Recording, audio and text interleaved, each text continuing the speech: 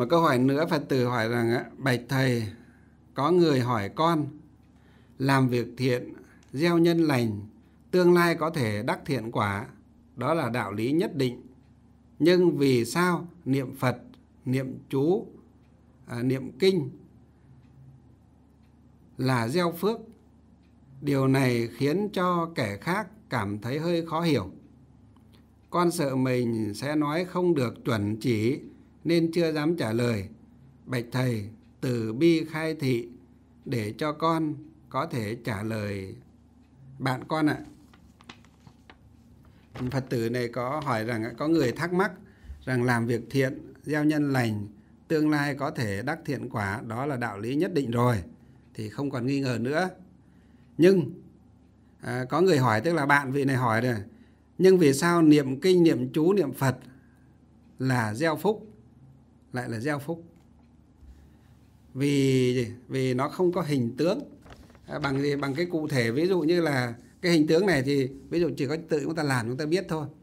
Ví dụ à, như là chúng ta gì? Chúng ta đem à, bố thí cho người ta gì? Một chiếc bánh mì.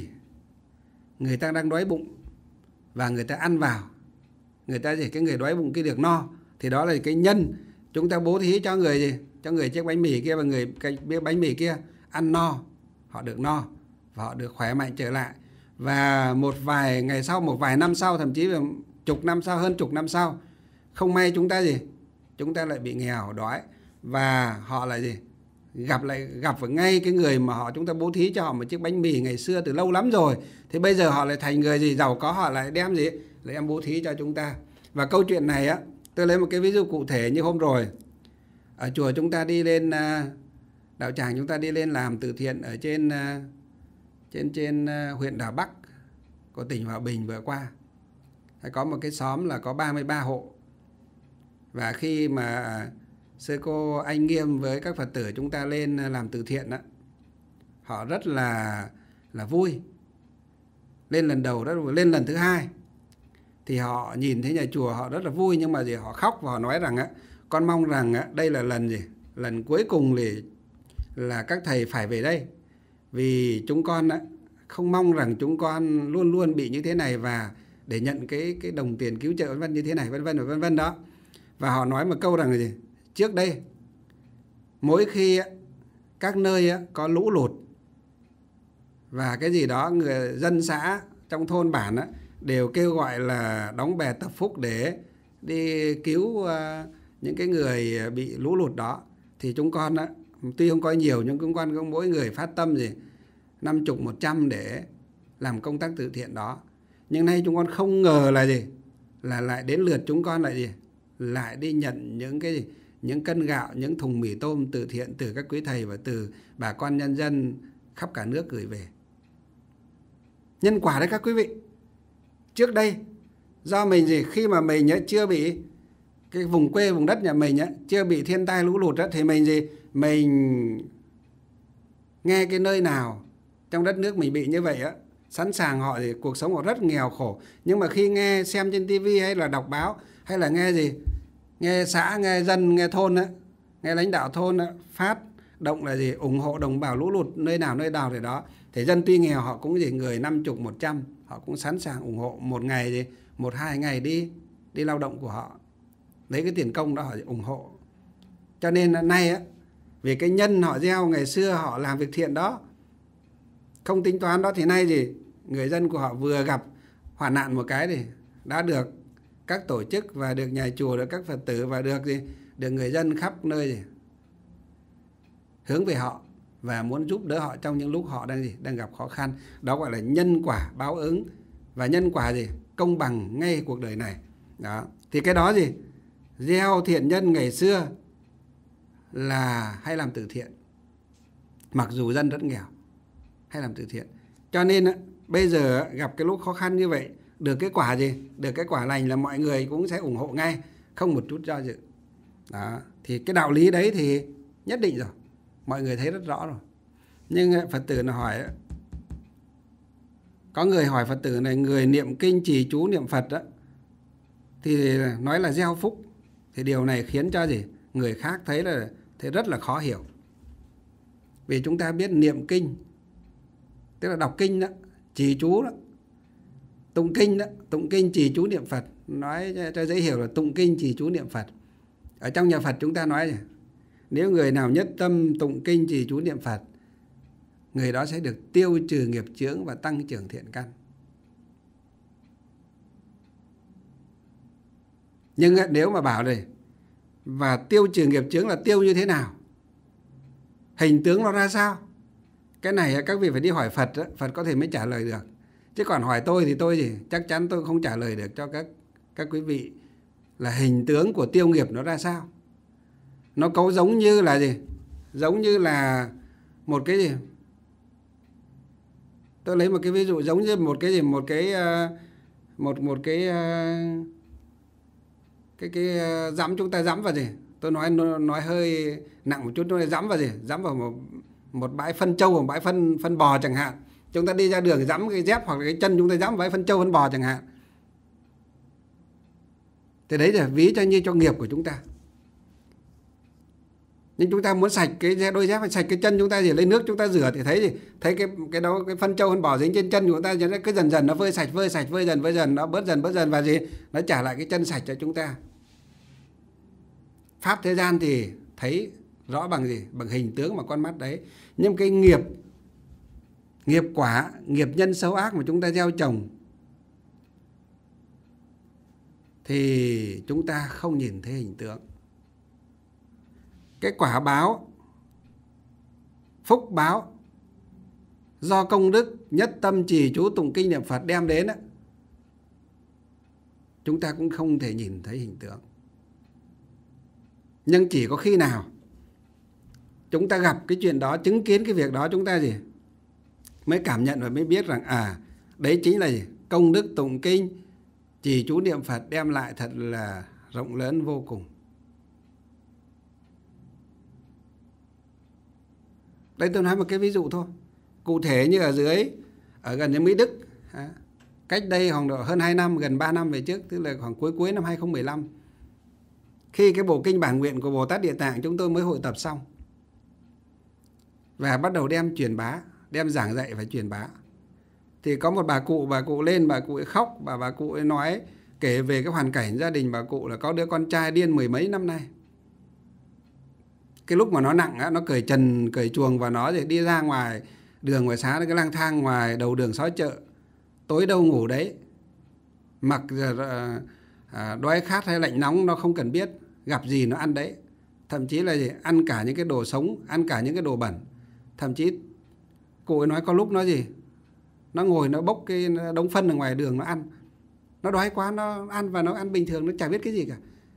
Nó chả còn cái gì là tàm quý biết hổ thẹn đấy cả. Ví dụ trên thân thể nó gì? Cởi trần trùng trục rồi nó có biết gì nữa đâu. Vì gọi là thần kinh. Nó không gì không làm chủ được mình mà không hiểu cái gì nữa và hơn chục năm như vậy. Nhưng cái khoảng một năm, hai, ba năm thì nó lại bị nặng một lần như vậy. Còn bình thường nó vẫn có thể nhận được một, nhận đức, nhận được người thân và vẫn mặc ờ, có lúc nó hiểu đấy thì nó biết vẫn mặc những bộ quần áo. Tuy là gì nó không tắm rửa, nó hôi hám, nhưng mà nó vẫn mặc quần áo. Nhưng có thể một năm nó thì bị một vài ờ, ngày hoặc một vài tháng, một vài tuần đấy, cái trường hợp mà nặng thì nó như thế. Đặc biệt là cái đến mùa hoa mướp, hoa cải đấy, thì nó lại lại bị nặng lên thế khi bà cụ lên, trên chùa trình bày cái việc đó, thì tôi mới cho một vài thầy đến để xem đất cát, nhà cửa, vân vân đó. Thì xuống đó có mấy thầy về báo cáo là với tôi là bạch thầy cái nhà đó, cái đất cát nhà đó rất dữ. Đến đó có một cái cảm giác là cái hung khí rất là gì, ám khí, hung khí rất là, chướng khí rất là nặng. Đến cảm thấy rất khó chịu. Cái đấy thì những người tu mới mới cảm nhận được thôi. Còn bình thường chúng ta thì những người bình thường rất khó để cảm nhận. Người tu đến một mức độ à, nào đó thì sẽ có cảm nhận được cái điều đó. Thì nói cũng, chúng ta cũng không hiểu được đâu. Cho nên chúng tôi không nói sâu về cái đó. Nhưng nói tóm lại là mấy thầy về nói với tôi điều đó và tôi bảo vậy thì bây giờ phải hướng cho người ta gì? Thờ một tôn tượng của Bồ Tát Địa Tạng ở tại nhà và bảo người ta nên phát nguyện đọc tụng kinh Địa Tạng gì? Mấy năm cùng với các sư ở trong chùa. Họ đọc tụng tại nhà họ và các sư nghe lời tôi phải đến làm một cái một cái uh, uh, cây hương nhỏ nhỏ. Bốc lại bát hương thần linh gia tiên họ ở trong nhà cho họ thờ phụng nó đàng hoàng và xây một cây hương nhỏ nhỏ đem uh, thỉnh một tôn tượng Bồ Tát Địa Tạng nho nhỏ lên đó để thờ trong cái cây hương cái miếu đó gọi là cái miếu thờ nho nhỏ đó ở tại cái đất của gia đình nhà đó và báo bà cụ chủ nhà đó tức là bà mẹ của anh cái anh chàng bị điên đó là tụng phát tâm, tụng kinh địa tạng. Và cụ tụng chỉ nhất tâm tụng được khoảng độ 49 ngày. Thì tự nhiên là thằng con nó về. Nó đi lang thang ở đâu, rồi hàng tháng trời chả thấy mặt mũi đâu, vì nó nó đi nhiều như thế rồi cũng chả đi tìm nó nữa. Thế thấy nó về gì nó về nó mặc cái bộ quần áo rách tả tơi và nó nó nó kêu là mẹ con đói. Có gì con ăn cho ăn? Thế thổi cơm cho nên ăn xong một cái thì nó bảo mẹ đi mua bộ, con bộ quần áo thế đi mua nó bộ quần áo thì về gì về bắt đầu thì nó tắm rửa xong mặc bộ quần áo xong bắt đầu nó bảo xong nó bảo mẹ cho con ra hàng để cho con tiền ra hàng để, để cắt tóc. Cắt tóc xong một cái thì mấy hôm sau thì nó cứ dần dần dần dần nó cứ bình thường bình thường dần. Và cho đến bây giờ gì anh chàng ấy không còn hai năm nay hơn hai năm nay không còn đi lang thang ở đường không còn cởi trần mà không còn ấy nữa. Mà bây giờ thì ở nhà đi làm việc nhà được nấu cơm nấu nước và làm việc nhà được cho mẹ và cho cho người thân rồi. Chỉ có tụng kinh địa tạng vậy thì bây giờ các vị hỏi tôi rằng á, lấy gì làm bằng chứng? Tôi chịu. Mà hỏi gia đình người ta lấy cái gì để làm bằng chứng rằng do công đức tùng kinh địa tạng mà? Cái cậu con trai nhà kia khỏi được người ta cũng chịu không trả lời được. Nhưng đối với người ta đây là một gì? Một sự mầu nhiệm. Đây là một cái sự gì? Một cái sự có thể gọi là linh thiêng bậc nhất trong cuộc đời của họ vì mười mấy năm trời con của họ khổ sở như vậy, đi viện, đi với đâu đâu cũng không khỏi, cầu cúng bao nhiêu nơi không được. Nay không mất cái gì, chỉ có gì? Chỉ có tụng kinh thôi mà mà khỏi. Chúng ta giải thích thế nào? Chúng ta bảo họ đừng tin, họ cũng không tin. Chúng ta đâu? Chúng ta bảo họ đừng có tin Phật nữa. Chắc chắn họ gì? Họ cũng không theo chúng ta đâu. Ừ. Đó, cho nên ở đây chúng tôi nói với các quý vị này, cho nên cái công đức tụng kinh chỉ chú niệm Phật, rồi còn nhiều lắm. Rất nhiều những câu chuyện, có những trường hợp là gì những đứa trẻ đứa trẻ nó khóc nó khóc cả ngày cả đêm, ngay ở xã cổ đông đây. Cháu của cái cô hiệu trưởng trường cấp 2 của xã cổ đông, cách đây mấy năm về trước có đứa cháu nó mới sinh được mấy tháng mà nó khóc suốt từ khi sinh cho đến cho đến gì? Đến khi được hai ba tháng nó vẫn khóc suốt như vậy. Cứ đến đêm đêm là nó khóc. Chiều lại bắt đầu khóc nhưng đêm về nó khóc khủng khiếp nữa. Ban ngày thì nó đỡ. Nhưng mặt trời chuẩn bị lặn là khóc. Đem đi viện thì bệnh bác sĩ chả giải quyết được. Không giải quyết được. Sang đây được cái cô hiệu trưởng của trường uh, cấp 2 Sơn Đông giới thiệu cô ấy đi sang đây cái sang đây một cái thì nói cái vấn đề đó tôi ô cái vấn đề đó là đơn giản đối với nhà chùa này, thì đơn giản thôi. Ừ. Có cái mảnh vải uh, hô thần nhập tượng cách đây hơn năm trước cách đấy hơn một năm trước thì tôi vẫn để dành. Cái vải vải hô thần miếng vải đỏ hô thần nhập tượng chúng ta phủ lên gì? Lên tượng phật đó để trì chú đại bi đó. À, xong rồi lấy cái vải đó đem xuống cất đi.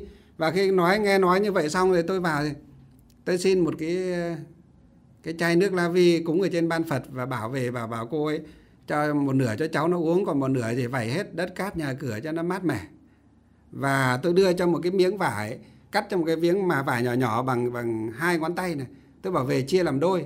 Một cái thì cắt đôi, một cái thì cho vào trong gối, cho cháu nó ngủ. Còn một cái nhỏ nhỏ thì tết thành một cái chỉ nhỏ nhỏ để đeo vào tay của cháu nó ngủ. Tôi bảo đảm là gì? Đêm nay cháu nó ngủ ngon. Thế cô bảo có được không thầy? Tôi bảo là cô cứ mang về đi. Được hay không thì tự cô gia đình cô tối nay gì là cô chứng kiến chứng kiến và biết có gì đâu. Và sáng hôm sau, cô ấy mang cái lễ sang sớm và nói là, ôi dồi Phật Pháp màu nhiệm quá. Thầy gì? Thầy nói gì? Như là phật, như là bồ tát. Từ khi mang về một cái gì? Vẩy nước xong một cái rồi cho cái một cái nửa miếng vải đỏ vào gối của cháu nó ngủ. Và một cái gì? Một cái miếng vải nhỏ nhỏ. Theo như thầy làm cho con tết thành cái chỉ và và làm thầy cái cái cái ấy cho cháu nó đeo lên trên tay. Nó không khóc nữa. Tối nó ngủ ngoan và nó ăn, nó ngủ, nó ngoan luôn. Chúng con không ngờ rằng á, Phật pháp nó lại mầu nhiệm như thế. Đó. đây là câu chuyện có thật. Rồi một cái câu chuyện nữa, cái năm 2010 cái này hình như tôi kể một lần rồi nay kể lại. Ở trên chùa Tản Viên ngày đó đang làm đường lên đang làm đường lên. Thì cái công ty Quảng Tây ông ấy ờ, ông giám đốc công ty Quảng Tây là ông Sáng ông ấy trúng thầu và ông làm đường. Thì có một cái chú lái xe của ông ấy. Nó không theo đạo Phật mà cũng chẳng theo đạo gì cả. Và nó thấy sư mình ờ, đi lên đi đi xuống ấy, thì không biết làm sao mà nó lại nó lại ghét sư như thế mà cụ thể nó ghét tôi cơ. Và thậm chí các vị biết không, khi mà tôi đi qua, mà tôi đi qua tôi có quà, thì có bánh kẹo gì còn mang cho anh em gì, cái đội lái xe và cái đội làm đường nó ăn. Ấy, nó ăn rồi nó còn chửi mình. Thế mới đau chứ. Nó ăn xong nó được ăn, nó còn chửi chửi làm sao? Nó thấy mình ờ, đi lên đi xuống đi qua là nó lại chửi, nó bảo gì? Sư mô, cái gì bây giờ? Anh nhìn nó béo ú ù thế kia, nó bảo là ăn chay, ai mà tin được? Ai mà biết rằng cái mỗi khi nó xuống núi là nó gì? Nó đi quán để nó gì? Nó nó vào quán, nó ăn và nó là nó gái gú, vân vân. Ai mà biết được? Người ăn chay gì mà béo tròn, trùng trục thế kia, vân vân vân vân. Rồi nó nói sư bây giờ thế này, thế nọ, thế kia, vân vân. Nó nói đủ các thứ hết. Và nó nói thì nó nói với bạn bè, với người cùng cái cánh lấy xe với nó thì không sao, mình chẳng nghe được thì không sao. Thế một hôm mình ờ, đi qua thế bắt đầu nó nói nó nói cố tình nó nói cho mình nghe thấy nó bảo là gì? Sư mô bây giờ sư bây giờ nó như thế này thế này thế nọ thế kia. Nó bảo cái ông này á, thì cũng cái dạng gì? Cái dạng sư ta bà sư vớ vẩn đấy mà. Sư thì có khi nó có vợ có con để nó ăn thịt chó suốt ngày ai biết đâu được. Nói như thế nó cố tình nói cho mình nghe. Và bắt đầu là mình à, gọi cho ông giám đốc mình bảo ông giám đốc bác phải chấn chỉnh cái đội lái xe của bác. Đi lên làm việc cho chùa mà lại ăn nói như thế là không được à, dù sao đi chăng nữa nó ở ngoài đường ngoài xá thì tôi không nói gì nhưng đây nó đang làm thì đang làm đường cho chùa mà bác là cái người gì gần gũi với thầy mà để cho chúng nó thế là không được à, thế là bác ấy gọi nó đến để khiển trách và định đuổi việc nó Thế tôi bảo thôi đừng có đuổi việc nó. Cái chú đội trưởng nó bảo rằng thầy hôm qua là giám đốc là định đuổi việc anh ấy. Tôi bảo với bác giám đốc là thôi đừng có đuổi việc nó mà tội. Thôi bác khiển trách và bảo cho nó lần sau đừng có thế thôi. Và bắt nó lên chùa xin lỗi tôi. Thì mới giữ lại việc. Mới mới không đuổi. Thì ông giám đốc ông cũng cứng, ông bảo thì nếu mà không đuổi thì nghe thầy không đuổi, nhưng mà bắt nó phải lên xin lỗi thầy. Tôi bảo thôi, không cần đâu, nhưng mà bác bảo không thầy cứ để cho con bắt nó lên, nó xin lỗi thầy nó không lên xin lỗi thầy, tức là con không bảo được nó và không bảo được nó, tức là sau này con không bảo được các anh em của ờ, thợ của con cho nên là nếu nó không lên xin lỗi, con đuổi thế vì ờ, vợ nó sắp sửa sinh con. Cho nên chắc nó cũng chẳng biết đi đâu nữa thì nó cố tình nó bắt buộc nó phải lên nó xin lỗi. Lên xin lỗi tôi ở trên chùa tản viên mắt muốn hầm hầm như là muốn cắn mình. À, nhưng mình thôi mình cứ tươi cười mình rót nước mình pha nước mời nó uống đàng hoàng. Mời giám đốc của nó mời nó uống đàng hoàng. Nhưng mà nó xin lỗi mình nhưng mà mắt nó cầm hầm như muốn oánh mình như muốn cắn mình ấy. Không biết là mình cũng ăn ra cháy chủ với gì với nó. Rồi mấy tuần sau thì vợ nó sinh thằng con trai. Nhưng từ khi sinh con ra thì gì? Nó khóc đi viện rồi sinh ra một cái nó khóc ở viện rồi, thì để ở viện mấy ngày xong về nó khóc. Khóc đến mấy tuần như vậy mà khóc đến giạc cả đi nó không ăn khóc nó không muốn bú mẹ nó nữa. Thế là bắt đầu thì, bắt đầu thì nó đến nó kể với cái chú ờ, chú hùng đội trưởng. Ờ, phụ trách ở cái cái đường đó. Cái chú tên là chú hùng, chú đội trưởng. Cái chú hùng đó chú lên chơi với thầy cái chú đó thì rất là là mộ phật thì cứ dối dối chú lại lên chùa lại chú không tụng kinh đâu nhưng mà chú lên chùa lại chú thăm thầy chú ngồi uống nước với thầy để nói chuyện. Thì chú ấy cũng hiểu một chút về Phật pháp. Thế nghe cái chú lái xe kể với chú ấy thì chú ấy mới lên chú ấy nói với thầy là đấy cái, chú ấy hôm trước hôm trước về thì à, như thế bây giờ vợ mới sinh con được mấy tuần nay nhưng mà cháu nó nó nó nó khóc dữ dội nó cứ đi làm được một tí xong nó lại xin về. Con nó lại phải à, đi viện viện đến chả khám được cái gì cả mà nó cứ khóc như thế. Thì mình biết ngay là nó khóc do cái gì rồi? Có gì đâu. Các cụ ngày xưa nói là sinh vào giờ quan sát. Gọi là khóc dạ đề. Cứ đêm về là nó khóc. À, cái trẻ con ấy, nó nó cứ đêm về là nó khóc thì trong nhà Phật chúng ta thì gọi là trẻ con đấy gọi là khóc dạ đề. Dạ tại ban đêm.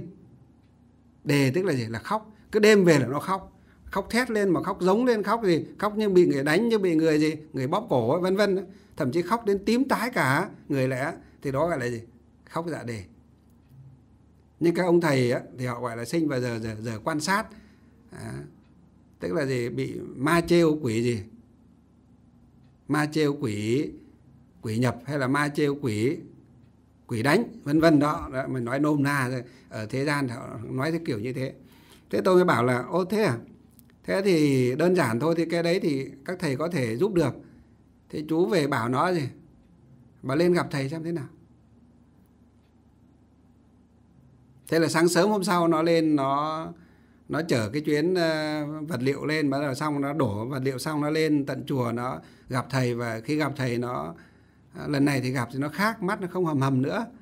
Thì vì nó, con của nó thì khóc mấy tuần rồi, thì nó nghe chú đội trưởng bảo là thầy có thể giúp được được mày thế cho nên nó lên lần này thì mua một cân uh, cam thật là ngon với thẻ hương nữa thì lên để vào là cũng trình bày là thưa thầy là thôi thì hôm trước thì chúng con thì lần này sinh là con không không không sinh là tôi nữa. À, hôm lên sám hối thì vẫn xưng là tôi. Nhưng mà lần này thì lên là biết xưng là con. Con là xin lỗi thầy về hôm trước là chúng con không biết cho nên là ờ, xúc phạm đến thầy thế này thế khác mà thầy bỏ qua thế này khác. Nay thì con thì mới sinh đứa cháu nhưng mà cháu trai nhưng mà nó khóc mấy tuần nay là thì nó không ăn không uống nó cứ giạc cả người đi mà con rất là sợ. Sinh hai cô con gái rồi, bây giờ cầu mãi mới mãi mới được một cậu con trai này con sợ lắm. Xin thầy là làm thế. À, nghe chú đội trưởng, chú hùng, chú bảo thầy có thể giúp được, xin thầy giúp. Thế tôi bảo là ừ cái này có thể, các thầy thì cũng giúp được nhiều rồi, nhưng mà con của chú thầy không biết là có được hay không không chăm chắc chắn. Nhưng mà thôi được rồi, thì cứ về cứ làm theo tôi như thế như thế. Thế là tôi đưa cho nó một cái à, à, đem dâng lên lễ là khấn phật khấn bồ tát khấn đức thánh tản rồi thôi gia trì cho vợ chồng nhà cháu và gia trì cho cháu nó. Và đặc biệt thì cho cái miếng vải hô thần của lần trước hô thần nhập tượng cho chùa thần viên. Cắt hai miếng nhỏ nhỏ và một miếng về cho vào trong à, gối cháu nó ngủ một miếng thì cũng tết. Thành cái cái vòng để đeo chỗ tay này cho cháu nó. Và nó nghe theo tôi nó về nó làm như vậy. Sáng sớm hôm sau nó lên từ lúc về khoảng độ 5 rưỡi sáng mình vừa gì thỉnh chuông uh, buổi sáng và tụng kinh buổi sáng xong để ra nó thấy nó đứng ở trước cửa chùa. Lần này thì nó thấy nó sách mà gì không chỉ một cân cam mà gì cả một cái làn hoa quả thật là to. Nó đợi sẵn nó đã cả một cái làn luôn. Và thì nó vào nó hớn hở và bắt đầu mặt mũi nó hớn hở và nó là ui thổi thầy ơi đúng để con để con vái vái sống thầy đấy con về con làm một cái từ tối hôm qua là gì cháu nó nó ăn ngoan và gì, nó ngủ kỹ, nó không có khóc một tí nào nữa. Và sáng nay thì cả đêm rồi con thấy mừng quá và con thì sáng nay con phải đi thật sớm để con mua gì, con mua lễ để lên con lễ tạ phật, lễ tạ thầy. Một cái anh chàng rất là ngộ ngáo.